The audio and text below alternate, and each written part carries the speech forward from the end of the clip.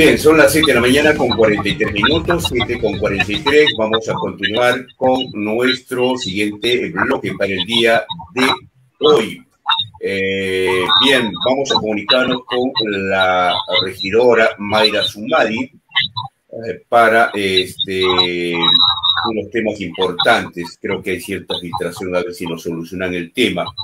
Eh, la regidora Mayra Sumari, vamos a dialogar con ella este, los temas relacionados con su gestión, pero básicamente dos. Uno de ellos tiene que ver con un tema que se trató en la última sesión de consejo, relacionado con esto de las papeletas. Ella había advertido que la exoneración de estas papeletas impuestas por los representantes del municipio provincial había sido algo no correcto y sin embargo se aprobó a pesar de que ella ¿Nos puede usted explicar de qué se trata? Bienvenida a Controversia TV.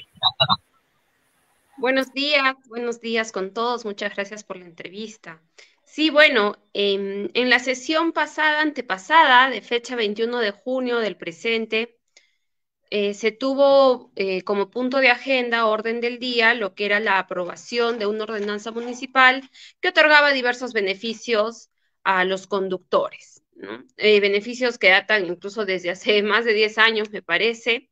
Y bueno, ¿en qué basaban? Se basaban estos beneficios, era en la condonación de multas por papeletas eh, de tránsito, infracciones de tránsito, eh, también aquellas que se hayan podido desprender producto de incumplir todo lo relacionado al CETARE, los vehículos que habían ingresado al depósito municipal. Eh, bueno, es ahí donde se hizo la participación y se, y se dejó la interrogante, ¿no? Si es que nosotros éramos o no competentes para poder aprobar este tipo de beneficios, dado de que el artículo 40 de nuestra ley orgánica de municipalidades manifiesta de que manifiesta solo los puntos en los cuales el Consejo es competente para aprobar cierto tipo de ordenanzas. Eh, bueno, en ese momento eh, se manifestó por parte de los expertos, los especialistas, de que sí teníamos la competencia. Sin embargo, una semana después se puso en orden del día, en punto de agenda, el dejar sin efecto este, esta ordenanza que en una primera oportunidad se aprobó por mayoría. Entonces, bueno, para que se pueda entender, y ahí, bueno, en el segundo, en la segunda sesión de consejo donde se puso en orden del día, se presentaron varios informes por parte de los mismos técnicos que presentaron en la primera oportunidad, donde se dejaba claro de que el Pleno del Consejo no era competente para eh, aceptar este tipo de condonaciones, ni a través de ordenanza, ni a través de ningún eh, documento por parte del Pleno, ya sea acuerdo de consejo, ¿Y ello por qué? Porque las infracciones por papeletas de tránsito se realizan y se reglamentan en base a las normas y leyes nacionales, más no locales. Entonces, nosotros solamente administramos, es decir, podemos cobrar estos, estas papeletas, pero no podemos, no tenemos esa capacidad para poder condonar las mismas. Ahora, eh, esta, eh, eh, la imposición de estas papeletas las hace la, la policía, ¿sí? Correcto. Ya. En consecuencia, se entiende que la policía es una institución nacional. ¿Ok? ¿Por ahí va el tema? claro, en realidad quien, quien regula todas las papeletas de tránsito es la SUTRAN, la Superintendencia de Transportes, que está ligada al Ministerio de Transportes y Comunicaciones, ¿no? Ya estamos hablando de ministerios, de instituciones nacionales que dan la regulación a estas eh, papeletas en específico y nosotros como municipio, como gobierno local, no tenemos esa facultad para poder realizar condonaciones de papeletas de tránsito. Incluso se puso a consideración del Pleno y se explicó de que ya con anterioridad eh, existe precedente en la Municipalidad Provincial de Puno, donde aquellos funcionarios y regidores que fueron, eh, que aceptaron este tipo de condonaciones, fueron investigados y finalmente sancionados ante su órgano de control institucional por haber generado un perjuicio económico al Estado, dado de que eh, igual, de la misma manera, ya sea funcionarios y regidores, es decir, el gobierno local no tenía competencia para poder realizar este tipo de condonaciones. Claro. Y había precedente en consecuencia, ¿sí? Así es, en la Municipalidad Provincial de Puno se nos alcanzó incluso eh, las copias, documentos de varios, varios documentos, varias resoluciones emitidas por, la, por el órgano de control institucional, donde finalmente se concluía de que el Pleno del Consejo no tiene esta competencia. Y es más, se puso también a consideración de que el artículo 306 del Código de Tránsito con anterioridad otorgaba a las municipalidades esta facultad para poder reducir o dejar sin efecto infracciones de tránsito. Sin embargo, desde el año 2014, este artículo 306 que otorgaba facultades ha sido derogado, ¿no? Lo que también fue cuestionado en el Pleno del Consejo porque estas observaciones debieron ser advertidas eh, antes de que ingrese siquiera a punto de agenda la aprobación de esta ordenanza, porque pudo, en realidad, esta ordenanza, la primera que se aprobó, no fue publicada, pero pudo generar mayor perjuicio a quienes sí la aprobaron, eh, ya sea en una investigación ante el órgano de control y perjuicio también económico al municipio provincial. Claro. Eh, ahora, eh, sin embargo, esos dineros que se imponen por papeletas van a, a las arcas del municipio, de la jurisdicción, ¿sí? Una parte, una parte van a las arcas del municipio y otras se tienen que ir al Ministerio de Transportes y Comunicación. Eh, por tanto, si es que se exonera, eh, se condona, la otra parte, que es el Ministerio de Transportes, también se ve afectado, ¿no? Por mm, la no recaudación de estos dineros. Por supuesto, por eso es que se especifica y se dice, ¿no? De que no tenemos esta competencia nosotros para poder disponer del, eh, del ingreso, de los ingresos que pueda tener el ministerio a través de la emisión de papeletas, del cobro de las papeletas de tránsito. Claro, por eso es que se entiende que, por ejemplo, en el caso de los árbitros sí puede haber, eh, digamos, moras, exoneración de moras, de multas, ¿sí? Porque ese es un impuesto que es propio de, de la institución, en este caso el municipio provincial, cosa que no ocurre con el tema de las papeletas. Efectivamente, todo lo que se regula por parte del propio gobierno local sí se puede condonar. Si hablamos en, el tema de arbitrios, claro que sí, es más, desde el mes de febrero venimos aprobando ordenanzas donde se, se condona, se, se dan diversas amnistías a los pobladores arequipeños para que puedan acogerse a las mismas. Si hablamos en el tema de transportes, todo lo que es el CETARE, por ejemplo, que se regula por parte del gobierno local, también nosotros podíamos regularlo. ¿Por qué es que ahora también se ha dejado sin efecto el CETARE porque estaba considerado dentro de la ordenanza municipal? Es que la ordenanza se aprobó en su conjunto, ya sea depósito municipal, CETARE, papeletas por infracciones de tránsito, y como todo se aprobó en su conjunto, se derogó en su conjunto también. Sí somos competentes en relación a lo que es el CETARE, más no en lo que es eh, en relación a lo que papeletas de tránsito, por ejemplo. Bueno, eh, pero si la situación era clara como usted la tiene, ¿Por qué es que los funcionarios del municipio provincial no advirtieron esto e hicieron incurrir a los regidores aprobando una ordenanza que no les compete? ¿Eso es ignorancia pura o, qué pasó? Bueno, eh, lamentable en realidad la situación que se dio en sesión de consejo.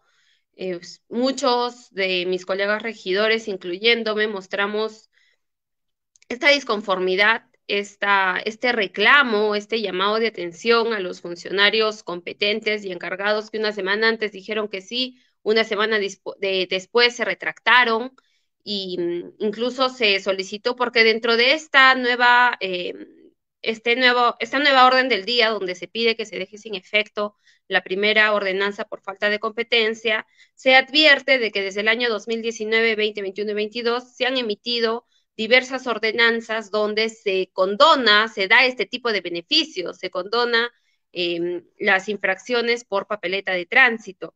Y los, estos funcionarios recomiendan y recomendaron de que sean remitidos aquellos que participaron de estas ordenanzas de la gestión pasada al órgano de control institucional, ¿no? Es ahí donde los regidores también solicitan de que los funcionarios que emitieron informe favorable en una primera oportunidad este año sean también investigados ante el órgano de control institucional por haber hecho incurrir en error al Pleno del Consejo y haber emitido informes favorables contrarios a norma. Claro, ahora, em, si eso ocurre, digamos, con un tema que más o menos es claro y, del que cualquiera se podría dar cuenta, eh, ya no hay confianza en los funcionarios. Yo no sé si esto corresponde estrictamente al área legal, eh, el informe que han evacuado ellos, o, corresponde a un informe del de, eh, área de transportes y comunicaciones. ¿Usted tiene conocimiento de dónde procede digamos, esta, eh, este, este dictamen favorable? Claro, todos los dictámenes favorables que se han emitido fueron de la Sugerencia de Control y Recaudación, fueron también de la Gerencia de Administración Tributaria y por parte de la Gerencia de Asesoría Jurídica, ¿no? Definitivamente genera mucha, eh, bueno, resta credibilidad por parte de los regidores para los funcionarios, pero bueno, también algo que se dijo en sesión de consejo es que es responsabilidad de todos los regidores también revisar los puntos de agenda y poder eh, verificar si es que la información y los informes que se nos ponen a consideración en el momento que se nos notifica eh, tienen veracidad o no, ¿no? Es, es, responsabilidad y diligencia nuestra también verificar porque lo que digan los funcionarios en sus informes, por más informe favorable que se realice, eh, no necesariamente es, es ley, ¿no? No porque ellos lo digan, nosotros tenemos que seguir el mismo camino y basarnos solamente en su palabra, ¿no? Tenemos también que investigar, tenemos también que preguntar y bueno, definitivamente resta mucha credibilidad a los funcionarios, a todos los funcionarios que participaron de la mm, creación de esta ordenanza. Claro, eh, el tema, el tema ha pasado un poco por agua tibia. Eh, es más, este, creo que ningún medio de comunicación lo ha informado porque resulta bastante escandaloso que esto haya ocurrido así, porque si ha ocurrido con temas más o menos claros, imagínense lo que puede ocurrir con temas mucho más delicados, como el tema del sí, por ejemplo, donde se quiere eh, reorganizar todo el sistema y cosas como eso. Eh, el, alcalde ha dicho que va a investigar Mm, tampoco se ha pronunciado de manera muy contundente. Ese día de la sesión básicamente se corrió, seguramente para que la prensa no lo entreviste sobre el punto. Eh, ¿Piensa usted que el alcalde debería tomar otra decisión o, corresponde al Pleno eh, pedir que se sancione a estos funcionarios que hicieron incurrir en estos dislates a los regidores? El Pleno ha, el Pleno ha solicitado, el Pleno ha solicitado que se investigue a estos funcionarios que emitieron informes favorables. El alcalde también, en el momento que hizo uso de la palabra, también manifestó de que iba a realizar las indagaciones y las investigaciones correspondientes. Eh, ya también por parte de nosotros estar detrás de, que se investigue realmente esta, esta falta de diligencia. Y bueno, eh, comparto mi postura con mi colega regidor, eh, comparto la postura de mi colega regidor José Suárez, quien al momento de hacer uso de la palabra solicitó y le dijo y le pidió al alcalde que por favor eh, revise y, y vuelva a pensar y a tomar una decisión respecto de su personal de confianza, ¿no? Para que él pueda evaluar si efectivamente está contando con, las, con los funcionarios apropiados o no para desempeñar esto, estos cargos con tanta responsabilidad en realidad y tan importantes dentro del municipio provincial. Sí, pues e, ese solo hecho revela que estos funcionarios no están o no conocen de eh, la normatividad municipal, ¿no? No sé si sean algunos de ellos de, carrera. Eh, el producto de esto es que también algunos eh, colegas suyos han pedido que, digamos, tengan un equipo de asesores legales en el Consejo Municipal. ¿Eso es pertinente? Puede tener, digamos, los regidores, un grupo de asesores, y no solamente en temas legales, sino en otros temas, eh, da, eh, la, pueden solicitar los regidores, puede tener un equipo de asesores. ¿Considera usted? No, no, no, en realidad no, el municipio no, no tiene por qué destinar presupuesto para asesores legales para los regidores, la norma no lo permite, muy diferente a lo que sucede en el Consejo Regional. Por ejemplo, los consejeros regionales sí tienen presupuesto por ley para poder tener dos asesores cada consejero y entiendo también que la responsabilidad y la toma de decisiones de ellos es mucho más grande. En el caso de los regidores, no nos encontramos en ese escenario. Los regidores de manera particular sí podemos eh, contratar o buscar asesoría con algún experto, pero este presupuesto tiene que salir de nosotros, no tiene por qué salir del municipio. No obstante, también eh, la Ley Orgánica de Municipalidades, en su última modificatoria, le otorga al regidor presupuesto para que pueda contratar asesores, pero solamente para realizar sus funciones de fiscalización. ¿No? No puedo venir a una sesión de consejo y usar ese presupuesto para em, pagarle a un asesor para que me asesore en una sesión de consejo o en diversos puntos de agenda u ordenanzas, solamente para lo que es eh, trámite, no, nuestras funciones de fiscalización, nuestra función fiscalizadora. Entonces, este pedido que se hizo en realidad no es viable. Eh, bueno, lo realizó, entiendo yo que también eh, muchos de los regidores se sintieron bastante eh, sorprendidos, bastante inquietos por la falta de diligencia de los funcionarios del municipio y entiendo que también por eso la, la solicitud, ¿no? Pero no, no se puede realizar, el municipio no puede destinar presupuesto para asesores de los regidores. Aunque eh, debería detenerlos, ¿no? Porque, claro, bueno, la ley no lo impide, pero evidentemente este, hay muchos regidores que no necesariamente conocen los temas legales, como es el caso suyo, ¿no? Que es abogada.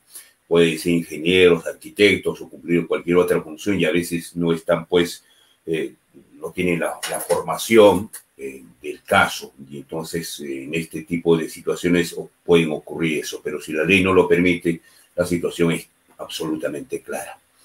Bien, pasemos a otro tema, eh, regidora Mayra Sumari. Eh, se ha presentado un pedido de eh, vacancia contra el alcalde provincial Víctor Hugo Rivera porque la nueva norma sanciona a quien designa funcionarios que no cuentan con el perfil adecuado. Entonces la sanción no solamente es para quien designa, sino para quien también asume el cargo y concretamente nos estamos refiriendo al señor Arce, quien es gerente municipal de la gestión del señor Víctor Hugo Rivera. Me supongo que usted, eh, porque ya esta información se conoce desde la semana pasada, eh, los argumentos de este pedido de vacancia. ¿Qué le parece? Eh, bueno, en realidad sin ánimo de adelantar opinión, pero sí, formalmente el Pleno del Consejo todavía no ha sido notificado con este pedido de vacancia pero bueno, evidentemente uno ya conoce el documento por parte de, los medios de prensa, que nuevamente felicito, hacen un trabajo extraordinario. Y bueno, en realidad ya leyendo de una manera bastante, bastante objetiva este pedido de vacancia, es importante, yo soy abogada, me voy a la norma y digo, eh, más allá de que si el, el señor Augusto Arce cumple o no con el perfil, tenemos que irnos específicamente al artículo 22 de la Ley Orgánica de Municipalidades que habla de la vacancia, ¿no? Y nos pone 10 causales para la vacancia. La vacancia de un regidor o un alcalde solamente procede en 10 casos, ¿no? Y hablamos de 10 casos, en realidad, eh, muy importantes. Dentro de ellos está, por ejemplo, la muerte, asunción de otro cargo proveniente por mandato popular, es decir, que se quiere lanzar en algún momento nuestro alcalde al Congreso, entonces tendría que dejar el cargo, ahí, por ejemplo, procede lo que es la vacancia, si es que ya lo asume. En el caso de enfermedad o impedimento físico permanente que impida desarrollar sus funciones, en caso también de que nuestro alcalde se vaya de la ciudad de Arequipa por por 30 días consecutivos y sin autorización del Pleno del Consejo.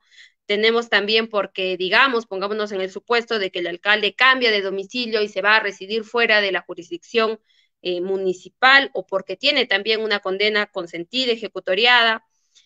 eh, entre otras más, ¿no? Pero si revisamos este tipo de causales, la, el pedido de vacancia que se realiza no se enmarca dentro de ningún pedido, ¿no? ¿Cuál es la causal que invoca el señor que está pidiendo la vacancia? La, la estipulada en el, en el numeral 9, que nos dice por incurrir en la causal establecida en el artículo 63 de la presente ley. Pues bien, si es que nos vamos al artículo 63 de la presente ley, ¿qué es lo que nos dice este, este artículo?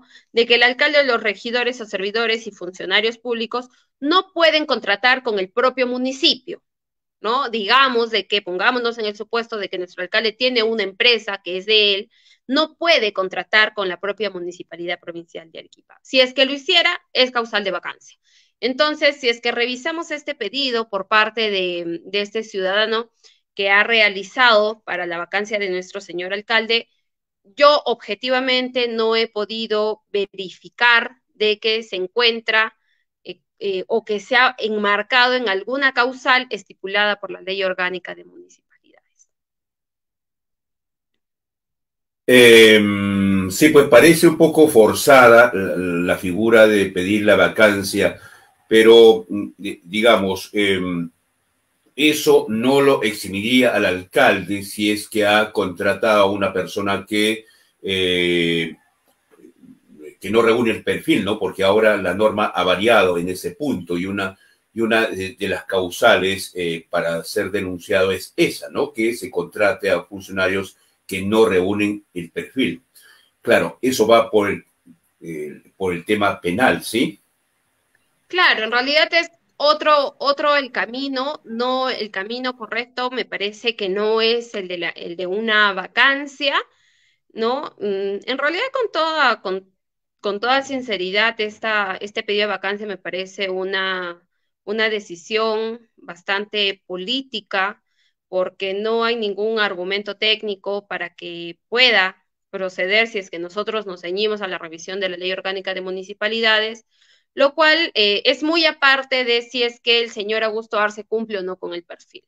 Esta, esta situación incluso ya ha sido denunciada ante el Ministerio Público por otra persona y ya se está investigando, porque en realidad aquí lo que sucede es una incertidumbre de que si es que sus cuatro años que el regidor Augusto Arce eh, tuvo de experiencia como regidor en la municipalidad de Yanaguara cuentan o no como experiencia profesional para ostentar este cargo de gerente municipal. Entonces, ya se ha hecho la investigación, el Ministerio Público está investigando, se tiene que hacer las consultas a servir, a ver, eh, para poder verificar si es que eh, cumplirían estos cuatro años como experiencia, contarían como experiencia profesional o no, y tendríamos que esperar. En caso de que efectivamente Servir nos diga no cuentan estos cuatro años, eh, la experiencia de un regidor no cuentan para el perfil de gestión de gerente municipal, entonces ya estaríamos hablando en realidad eh, posiblemente lo que se mencionaba, ¿no? De un ilícito penal que este año ha sido, ha sido modificada la norma donde eh, sanciona a quien propone para el cargo y a quien acepta el cargo cuando no se cumple con el perfil. Mm. Objetivamente, ¿usted eh, consideraría que se ha incurrido en, esa, en esa causal o no? Mm, la verdad que la incertidumbre también la comparto, yo también tengo esta incertidumbre, me gustaría, en realidad estoy muy ansiosa por saber qué es lo que va a responder Servir, si es que efectivamente eh, se cuenta o no. Ya ha habido eh, comentarios, algún tipo de precedente donde se dice de que sí, de que sí se contaría, pero quien tiene la última palabra en realidad ya es eh, servir a efecto nos pueda ilustrar a todos, porque está manteniendo en vilo a no sé si a todo el Perú o solamente a Arequipa, porque eh, ya tendríamos que analizar los otros casos a nivel nacional, porque sí, sí se ha podido ver de que regidores que han asumido estas, estas funciones, esta experiencia, después están ostentando un cargo público. Entonces, también estoy a la expectativa de conocer qué es lo que dice servir. Desde mi punto de vista, yo considero de que sí debería, eh, sí debería considerarse porque el trabajo de un regidor Eh, no solamente es tomar decisiones eh, políticas, levantar o no levantar la mano, sino también nosotros realizamos trabajos de comisión, nos reunimos con gerentes, podemos conocer el trabajo y el manejo de una gestión municipal, pero habría que esperar a ver qué es lo que nos dice. Claro, eh, me supongo que el Consejo Municipal también tendrá que acordar algo sobre el tema, ¿no? O por lo menos formar una comisión investigadora. ¿Es, es el caso? Eh, ¿Va a ser así en próxima sesión? Me, supongo que, obviamente, por tratarse de un tema de fiscalización, me supongo que el, Consejo Municipal del cual usted es integrante tendría que eh, pronunciarse sobre el tema, ¿sí? Estamos a la espera, en realidad, como mencioné, ya está este caso en manos del Ministerio Público. Entonces, eh, si es que nosotros, digamos, iniciamos un proceso de investigación eh, y emitimos nuestra propia opinión respecto de, si corresponde o no, podríamos encontrarnos también en un tema de eh, opiniones contradictorias, ¿no? Es diligente esperar al, pronunciamiento del Ministerio Público, quien tiene que solicitar un pronunciamiento a servir. Eh, no obstante, recuerdo en realidad eh, que nuestro colega, mi colega regidor José Suárez realizó todo un estudio de perfil de puestos de todo el personal de confianza por parte de nuestro alcalde y cuando eh, se hizo el análisis respecto del gerente municipal, él manifestó en su informe que fue incluso transmitido y fue compartido a todo el pleno del Consejo de que el señor Augusto Arce sí cumplía con el perfil muy diferente a la situación de otros funcionarios que al día de hoy incluso ya han sido cambiados de su cargo de gerente, por ejemplo, sin irnos muy lejos en la gerencia de transportes, que antes estaba el señor Omar Flores por encargatura, solamente por encargatura se, pueden, eh, se puede estar tres meses, ha sido retirado del cargo y es por eso que ahora quien ostenta la gerencia, el cargo de gerente en la gerencia de transportes es la funcionaria María Chara, ¿no?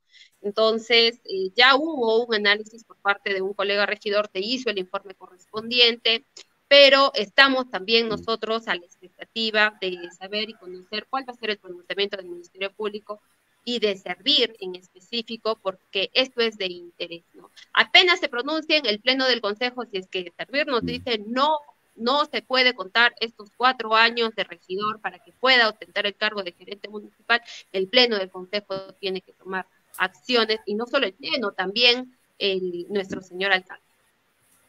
Ok, pero usted nos habla que es el Ministerio Público quien está investigando y es el Ministerio Público quien le ha pedido a servir me supongo que el Consejo Municipal, del cual también usted es integrante, ha pedido también un informe a servir, ¿o no?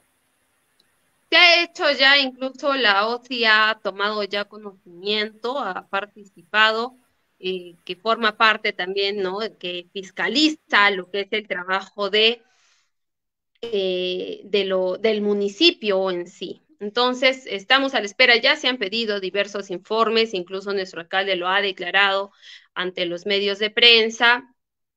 Y, en realidad sí, sí, queremos conocer si es que finalmente cumple o no. Entiendo yo, porque también todos en nuestra calidad de regidores, en algún momento, algunos tendrán o no aspiraciones de poder ostentar este cargo, no lo sé, pero sí se ha generado mucha, mucha incertidumbre. Supongo yo que para ya eh, en, las, en este mes, entiendo, no tendría por qué demorar tanto servir, ya deberíamos conocer el pronunciamiento de este. Claro. Eh, finalmente, eh, Mayra, em, ha habido muchos inconvenientes, sobre todo porque estas normas de, los perfiles que se requieren para ejercer este, este, tipo de cargos eh, se ha producido a raíz de todo esto que, eh, de todos los ministros que nombraba este, el señor Pedro Castillo, eh, gente sin capacidad, sin experiencia, y ahora pues la, norma es así, ¿no? El Congreso dio esta ley, tengo entendido. ¿Le parece, sin embargo, que la norma debería de tener algunas excepciones? Porque, fíjese, claro, en Arequipa podemos encontrar funcionarios eh, con experiencia y con todo el currículum o la hoja de vida que se requiere, pero a veces eso no, no ocurre en, distritos y sobre todo en provincias alejadas, donde quizás hay dos especialistas donde a veces no tienen pues todo el, currículo del caso. Eso, por ejemplo, no lo podemos encontrar en Maca, por ponerle un nombre, o en algún distrito de la provincia de la Unión. usted que asume el cargo, que es regidora, establece la norma estas excepciones porque, claro, Cotahuasi es muy diferente, pues Arequipa, ¿no? Claro, evidentemente es una norma eh, muy tajante, muy restrictiva y no es acorde a la realidad peruana, ¿no? Si es que nosotros nos citamos a cada provincia de, de distintas regiones, por ejemplo, sus provincias, sus capitales, sí podemos encontrar ese tipo de profesionales que puedan eh, realizar este trabajo. Y es que también eh, la remuneración que podrían recibir estos funcionarios, estos especialistas por parte del municipio, eh, no es nada despreciable, ¿no? En realidad es, es generosa, pueden desarrollarse, este trabajo es tan fuerte, entiendo, de ostentar alguna gerencia, alguna sugerencia, que una persona tiene que dedicarse 24/7 y sería si es que no es la docencia, su único ingreso económico. Lo que no podemos encontrar en distritos alejados de, Arequipa, de, de Cusco, de cualquier región en realidad, de cualquier provincia del Perú, porque uno, de que la remuneración para un profesional no es elevada, no está ni siquiera acorde a lo que establece el mercado, ¿no? Y dos, porque no encontramos, no podemos encontrar este tipo de, profesionales. Y ello también, ¿por qué? Porque las propias provincias ni siquiera cuentan con universidades. Si es que alguna persona tiene estos deseos de poder ser profesional, tiene que irse de su provincia a, otra para poder ser profesional y por lo general ya no regresan a su provincia y es que su provincia tampoco les ofrece eh, muchos puestos de trabajo o mucha estabilidad laboral en este aspecto. Entonces, eh, la norma es muy restrictiva, en realidad yo sí considero también de que se han olvidado de muchos sectores del Perú, donde estoy completamente segura que por esta norma se están cometiendo ilícitos, pero también eh, dejan y amarran, amarran las manos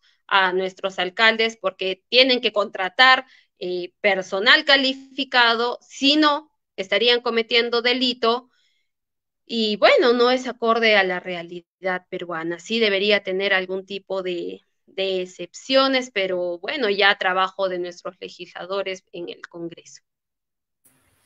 Bien, eh, seguramente por esa razón también es que eh, en muchos de estos cargos se están nombrando por encargatura, ¿sí? Pero usted nos dice que solamente es por tres meses.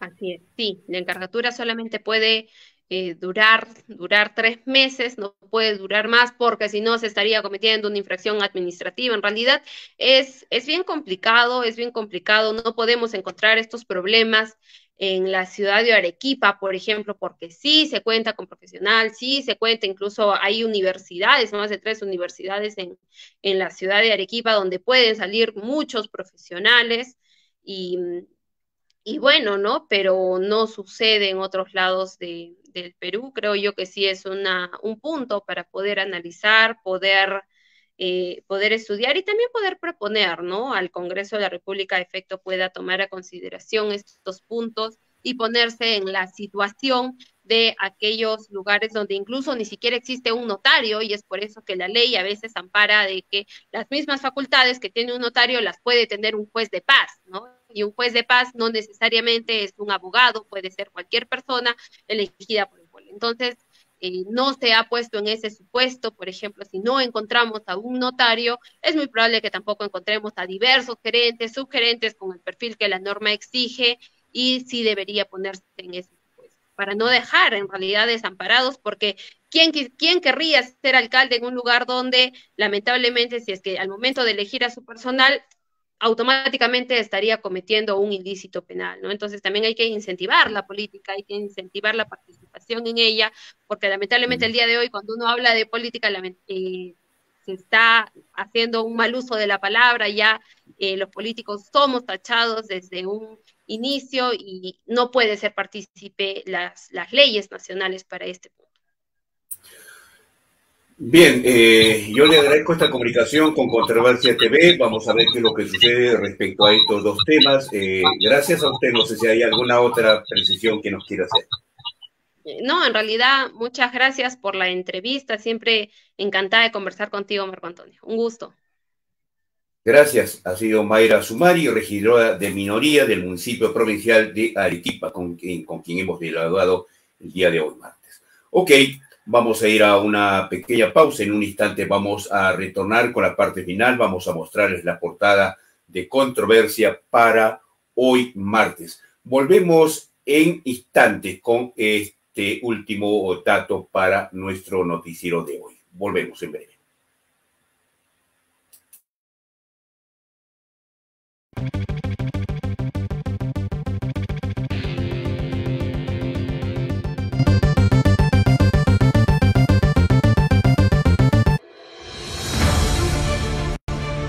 House, trabajando para que todos tengan su casa propia.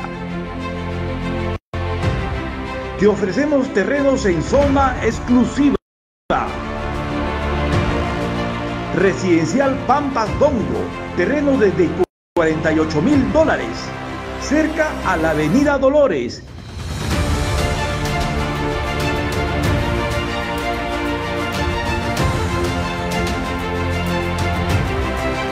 con grandes facilidades de pago. Cuatro años para pagar. Con un inicial del 30% separa tu terreno. Documentos saneados, escrita en registros públicos. Venta directa del propietario.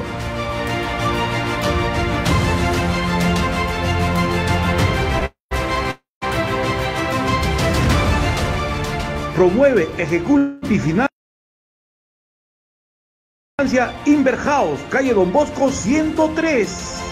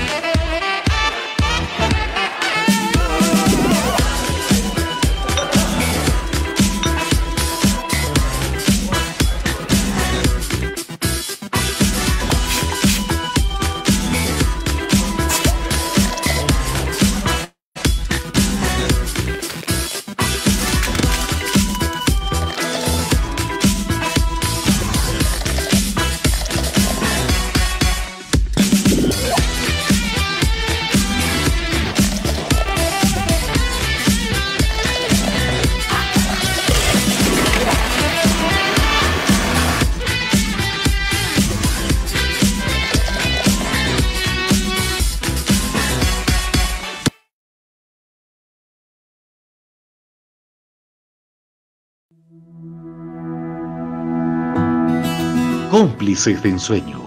Detalles, eventos y más.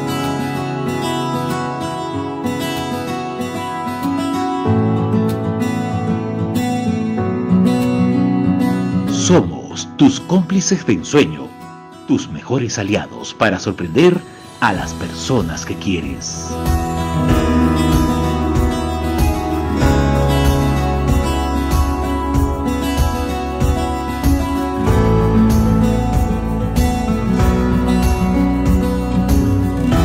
Cómplices de ensueño.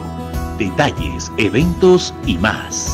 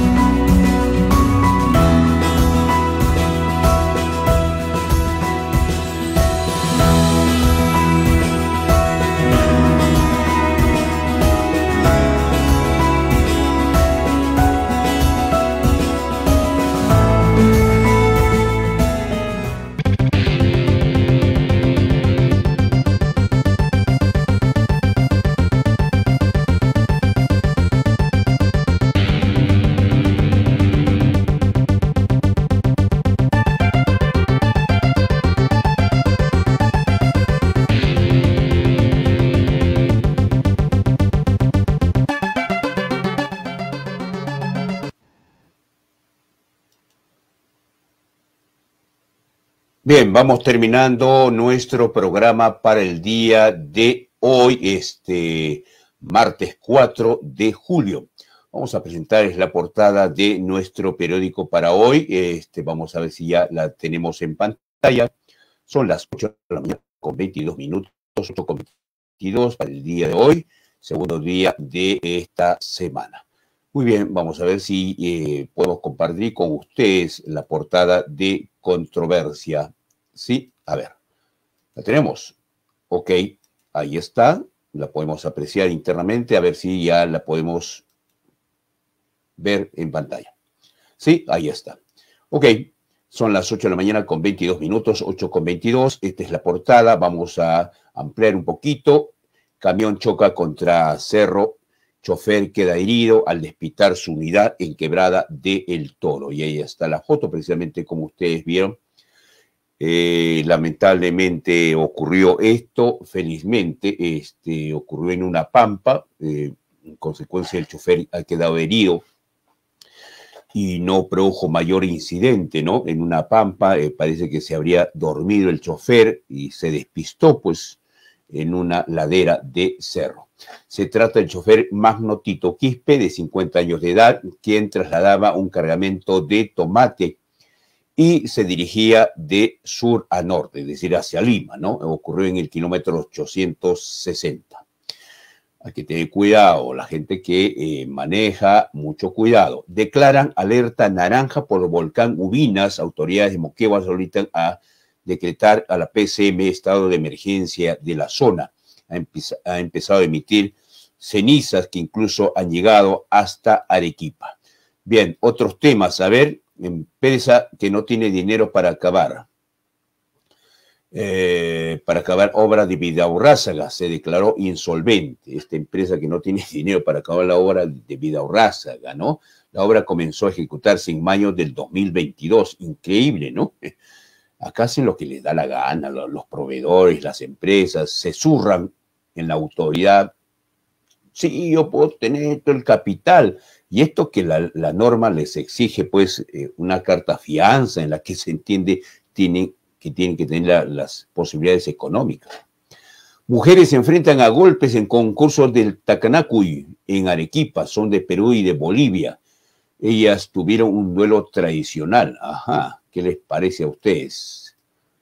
Con tal que no se fragelen ni causen mayores este, agresiones, ¿no? Porque se pueden, se pueden arañar, pueden caerse de cabeza, en fin, hay que tener las precauciones. Si bien es cierto, esta es una danza típica y tradicional, hay que tomar las precauciones del caso. Evitarán que 66 profesores de Arequipa que fueron condenados vuelvan a las aulas nuevamente. Fueron sentenciados por 17 delitos. 10, 66 profesores, no es poco. ¿ah? A ver, Melgar protestará contra el VAR tras el empate entre Garcilaso, jugado de visita contra el árbitro Jordi Espinosa. Mm, vamos a ver, aunque como están las cosas, Melgarcito mejor se dedica a hacer bien las cosas, ¿no? Estos son los temas que trae su edición de hoy, eh, controversia, para hoy martes. Esa es la portada de nuestra edición de hoy, segundo día de esta semana. Muy bien, vamos terminando el programa, eso es todo. Tengan ustedes un buen martes, siempre a tomar las precauciones del caso. Quienes viajan, siempre les reiteramos, maneje con mucho cuidado. Muy bien, eso es todo por hoy. Buen día. Retornamos mañana con el noticiero a partir de las 7 de la mañana, 7 en punto. Hasta entonces, que tengan un buen martes.